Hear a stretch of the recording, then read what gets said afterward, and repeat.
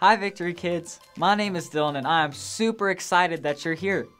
Today, we are continuing our series that we've been calling Born is the King.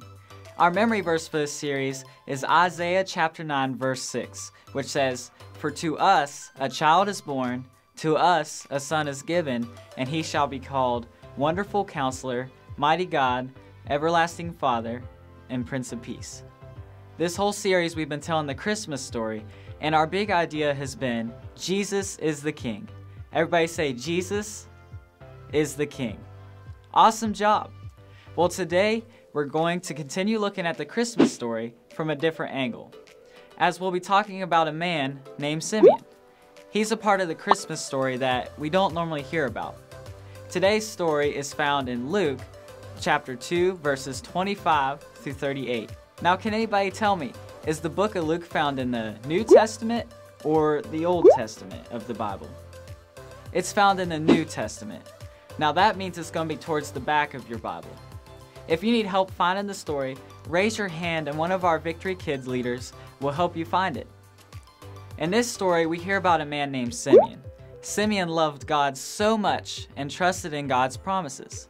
One day, God spoke to Simeon and told him that he would get to see the Savior Jesus before he died. When Simeon heard this, he was super excited. The reason Simeon found this super exciting was because God had promised the Savior for hundreds of years. That's a super long time. So many people had even waited longer than Simeon to meet Jesus.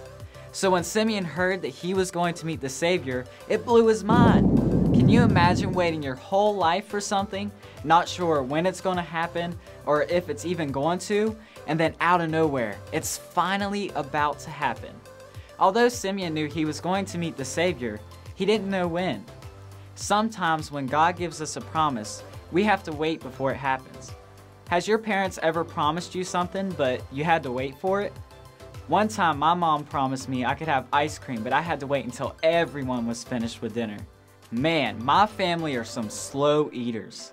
I never thought they were going to finish. I imagine that Simeon felt the same way, not knowing when he was going to meet Jesus. He wanted to see Jesus so bad, and it felt like he'd been waiting for forever. We see in this story that when God promises something, we usually have to wait before it happens. Waiting isn't the most fun thing to do, but God always has a reason for making us wait. So when Jesus was born, angels appeared to some shepherds and told them that the Savior had been born. A shepherd is simply just someone who watches and takes care of sheep. They were so excited that they went and told everybody that they knew. Now back then they didn't have any kind of technology like computers or cell phones, so Simeon didn't know that Jesus had been born yet. A little while after Jesus was born, God spoke to Simeon and told him to go to the temple. He probably didn't know why, but he trusted God, so he went anyways. When God spoke to Simeon and told him to go to the temple, he listened to God and did exactly what God told him to do, even though he didn't know why. In the same way, when God tells us to do something, we should do it, even if we don't know why yet. In the Bible, it says in the book of James that we should be quick to listen and slow to speak. It's okay to ask God questions, but it's important that we listen first and then ask. Think about it. God gave us two ears and one mouth for a reason. We should listen twice as much as we speak. At the temple, Simeon saw Mary and Joseph carrying baby Jesus inside to dedicate him to God. As soon as Simeon saw them, he knew baby Jesus was the Savior. The Bible doesn't tell us how he knew, but I imagine he had a gut feeling where he just knew right away. When Simeon saw Mary and Joseph with baby Jesus, he went up to them right away and said, Lord, you are king over all. Now let me, your servant, go in peace. That is what you promised. With my own eyes, I've seen what you've done to save your people. See, meeting Jesus was the one thing Simeon had wanted to do in his whole life. Simeon was pretty old and had waited for a long time for God to keep his promise. Now that he met Jesus, he was ready to die in peace. Meanwhile, at the temple that day was a woman named Anna. She was very old and spent all of her time at the temple worshiping God, so she never left. Just like Simeon, She was waiting for the Savior God had promised. She approached Joseph, Mary, Simeon, and baby Jesus while Simeon was talking to them, and she immediately began to praise God because she knew the Savior was finally here. See, Simeon and Anna trusted in God's promise, and even though they had to wait, God always keeps his promise. That reminds me of a story in my life where God promised me something and it came true. Now, you may not know this about me, but I actually moved here not too long ago, all the way from a state called West Virginia. Raise your hand, have any of you boys or girls ever been to West Virginia before? Well, it's super far away. It's a 16 hour drive from Tulsa, which is almost an entire day in the car. Well, being here in Tulsa meant that I wasn't going to be home for Thanksgiving this year. This would be the very first year I wouldn't be with my family for Thanksgiving. And one day, God spoke to me and told me that I was going to be going home for Thanksgiving and that He was going to give me everything I needed. This was so exciting to me because I didn't think I was going to be able to see my family this year. At that moment in time, I was nowhere close to having everything I needed. This trip was going to cost a lot of money and take a lot of time, but I knew that God's promises always come true. So I began to believe that I was going to have everything I needed just like God had told me. When God spoke this to me, it was a couple months before Thanksgiving, so I had a while to wait. Now, that wasn't quite as long as Simeon, but it sure felt like forever.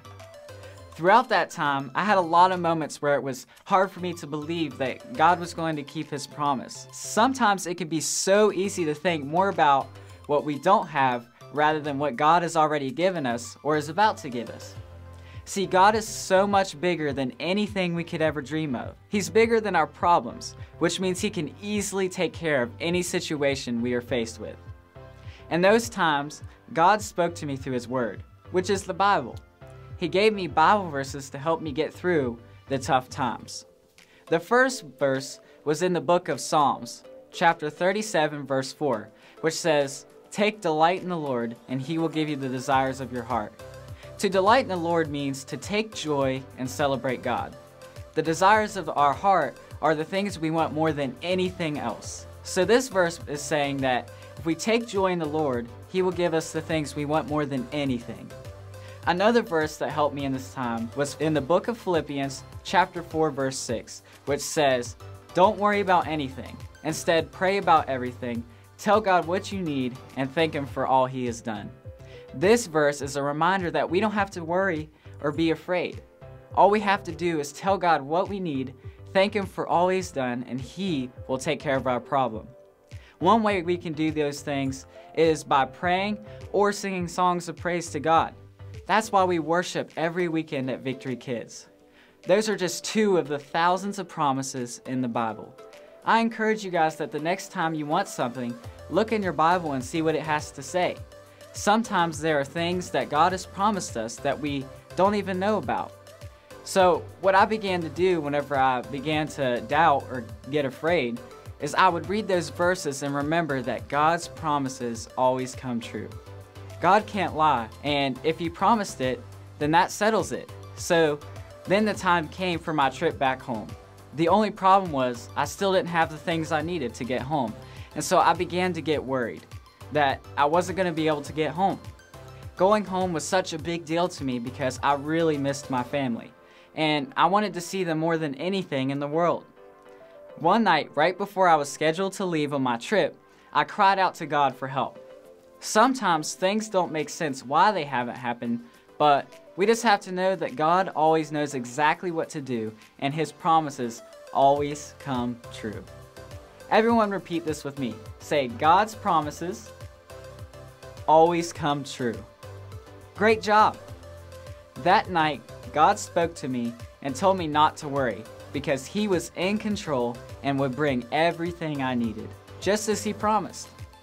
The next day, God spoke to me again and told me the name of one of my friends and said to go and talk to them. And when I did, they brought up my trip and said they had felt God telling them to help me get the things I needed to go. They gave me exactly what I needed. Sometimes God doesn't answer our prayers the way we would think He would.